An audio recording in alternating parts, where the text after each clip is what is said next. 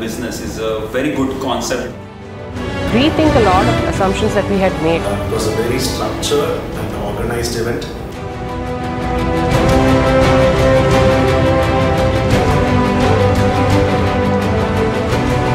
different vision to you know how I can really make this business work. We had technical experts from Bosch and Intel coming down.